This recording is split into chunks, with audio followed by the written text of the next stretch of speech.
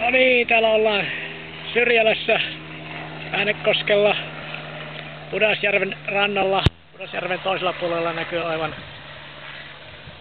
metsäpalo. Siinä on lentokone tullut jo katsomaan tätä paikkaa ja ilmoittamassa varmaankin tuota, niin, palokunnalle palon sijaintia.